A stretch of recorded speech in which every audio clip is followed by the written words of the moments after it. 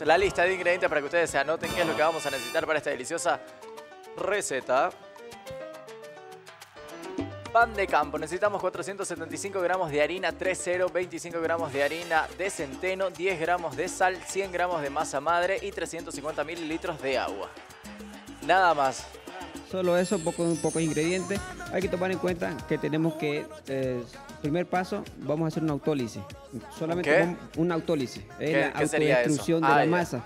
Solamente vamos a ocupar harina y agua. La sal y la masa madre la voy a dejar para el próximo paso. Ya. Ah, Decía harina de centeno, si no me equivoco. Sí, ¿Dónde lo centeno. conseguimos eso?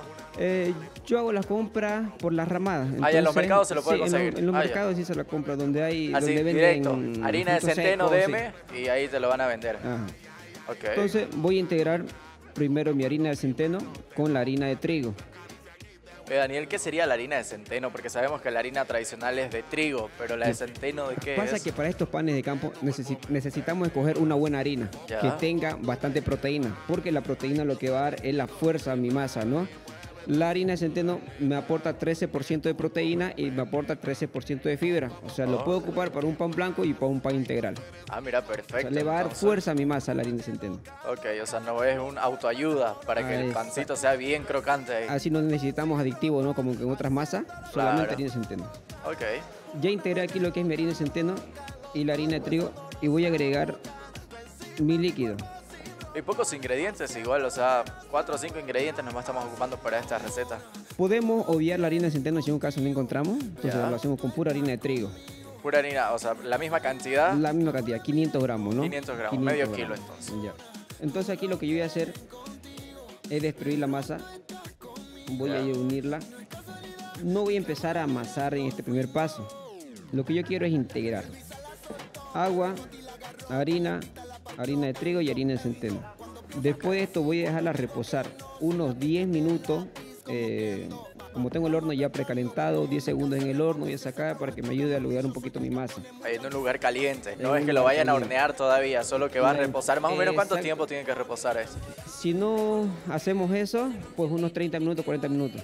30 Ya. minutos, 40 minutos. En un lugar caliente para que. Porque hay que esperar que leude, ¿no? ¿O Hay que no? esperar que le Exactamente. Entonces, Y para hacer la masa madre, porque eso a veces nos complicamos y creo que todos, ¿cómo la preparamos antes? Porque no es que vayamos a comprarla, me da medio kilo de masa madre, no, la tenemos que preparar, Te ¿no? comento que justamente ayer me entré a Facebook y entré a Marketplace. Y ya están vendiendo, ya masa están vendiendo, mira ya. Hay una masa madre que casualidad yo vi 50 pesos y era de dos años. De dos años, De mira, dos años. y ya lo pueden comprar ya, pero si lo sí. queremos caserito, no, ¿qué, qué tiene la, la masa madre? Porque hay que trabajarla durante una semana, dos semanas, ¿no? Exactamente. Harina y agua.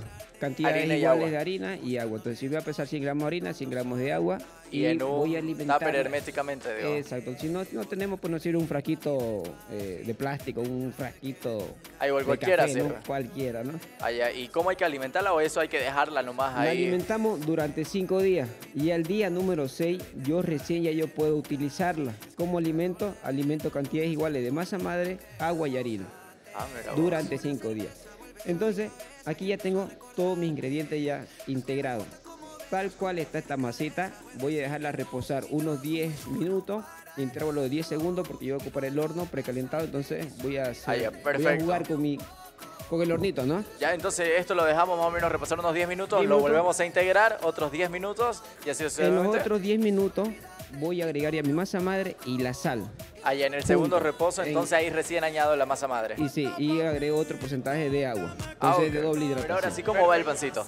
Ya. Ya hemos hecho el primer paso que es una autólisis. Ya. Ahora voy a agregar lo que es mi masa madre y la sal. ¿Cómo le vamos a añadir? O sea, como amasándolo nomás. Sí, vamos a hacer después un amasado francés. Lo que yo voy a hacer es desintegrar lo que es mi masa madre. Ya. ¿Qué cantidad más o menos de agua le echamos? ¿O es al ojo nomás? Este, en toda la receta ocupo un 70% de líquido, que sería Ya. 350 ml de agua. Entonces yo aquí le eché 300 y me guardo acá 50 gramos más. Ese es para el proceso que yo voy a hacer con la levadura. Ya, es mi masa entonces- madre. Entonces, esto, esto es una levadura natural, ¿no? La masa madre. Perfecto, entonces es como que lo estamos diluyendo ahí. Estamos diluyendo. ¿Y la sal se lo colocamos a la masa madre o a la masa directa? A la masa. esté? A la masa A la directa. masa. Ah, ya. ¿Eso ya casi al final ya o es cuando estemos Al mismo tiempo. Al mismo Entonces, tiempo. eso se llama- o sea, no va a correr el riesgo de que matemos todo lo que No. es la masa madre. Este es un proceso, se llama la técnica de bacinage, entonces doble hidratación. Voy a hidratar lo que es mi, nuevamente mi masa con la masa madre y Ya. la, eh, la Porque ya sal. la masa que teníamos eh, harina, teníamos la, el otro tipo de harina igual harina que la centeno y solamente agua, ¿no? y agua, nada más. Nada y esa la habíamos dejado descansar por lo menos unos 30 minutos. Unos digamos. 30 minutos. Ese es, eh, se llama el proceso de autólisis, ¿no? La autodestrucción de la masa mientras mi glúteo se va desarrollando y me va a ser más fácil de integrar a mí. Ok. Aquí yo ya Entonces le añadimos la masa madre diluida en agua y le añadimos entonces la, La otra porción de agua con sal. con sal. Perfecto, Ahí y esto mismo. solamente integrar. Aquí voy a así integrar nuevamente hasta que se vuelva a hacer una masa y empiezo a hacer un amasado francés. por acá, ¿cómo va Daniel?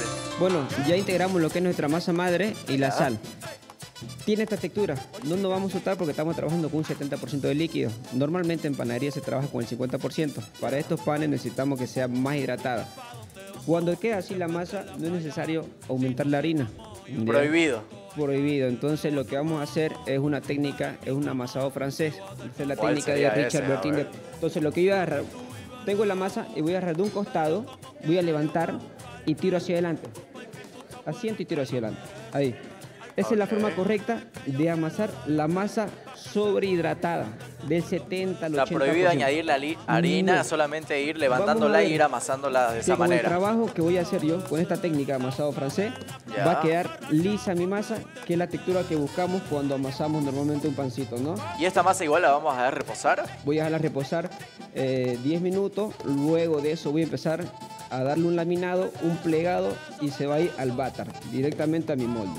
Ah, ok, al molde entonces. al Y ahí, cuando ya esté en el molde, ¿hay que dejarla reposar para que vaya inflando o ya Para directo que al vaya horno? leudando eh, y nuevamente ya la, la enharino lo que es mi bollito, hago mis cortes necesarios Ya.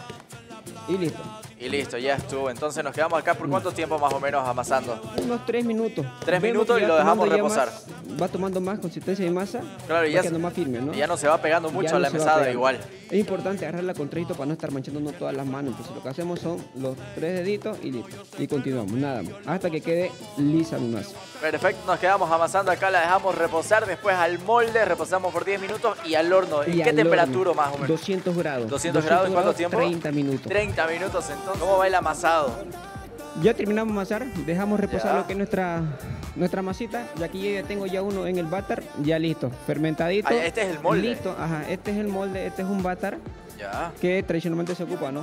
El banetón es otro que está hecho con maderita, entonces este como que Ah, la pero versión más así lo económica. vamos a llevar al horno o solamente leudar. A esto le voy a dar la vuelta y voy a hacer los cortes y voy a ingresar al horno. Ya está esto para meter al horno. Ok, entonces Ya. lo llevamos al Entonces, horno. lo que yo voy a hacer ahorita, voy Ya. a ponerle un Un poquito, poquito de harina.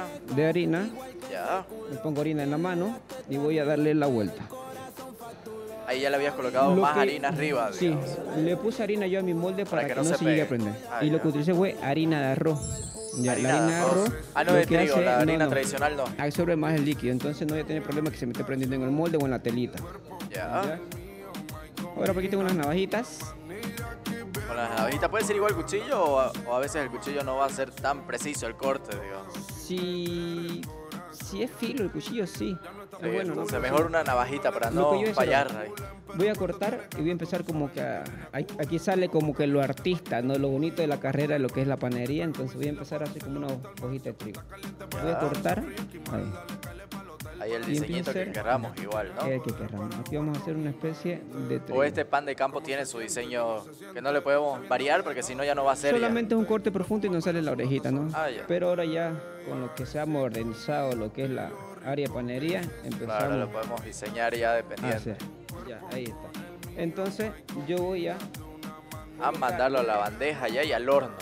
y al horno. Ya al horno. Al horno 200 grados por 30 minutos. 30 minutos 30. entonces, directo para la hora del té. Mira, vamos a tener este pancito crujiente, ya saben, 200 grados por 30 minutos. 200 grados por 30 minutos. Ok,